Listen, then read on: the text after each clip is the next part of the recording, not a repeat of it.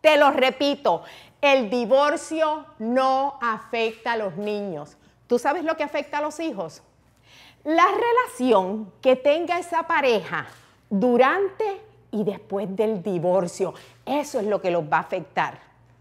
Y como que hay mujeres, bueno, y hombres también, que no acaban de entenderlo. Yo conozco muchas chicas que en este momento dicen, no soporto a mi ex. Es más, yo lo que quisiera es agarrar a mi ex, meterlo en cuadrilátero y caerle a puño. Pero como no puedo hacer eso, voy a hacer algo que le va a doler más todavía que si le caigo a puño. Esto es lo que yo voy a hacer. Cuando lo vea, le voy a decir, ¿sabes qué? A los niños no los vas a ver. ¡Pum, pum! Y a tus hijos le voy a decir que tú eres un mal padre y que eres un loser. ¡Pum, pum! Entonces, ¿tú sabes lo que sucede? Cuando tú hieres a alguien emocionalmente de esa manera, ¿qué tú crees? Que él se va a quedar calladito, quietecito. Y esto lo hacen tanto los hombres como las mujeres.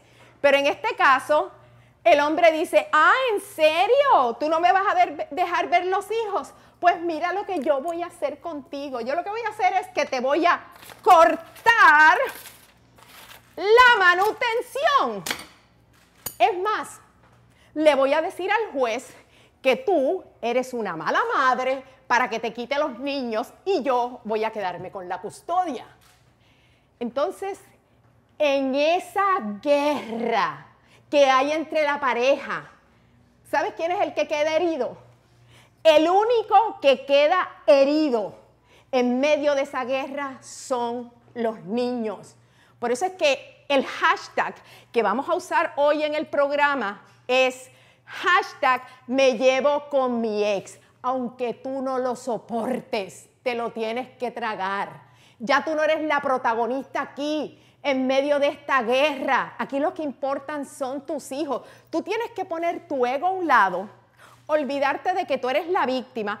Ay, es que él me partió el corazón, es que me fue infiel, es que es un vago. ¿Qué importa? Aquí lo que importan son tus niños, su bienestar.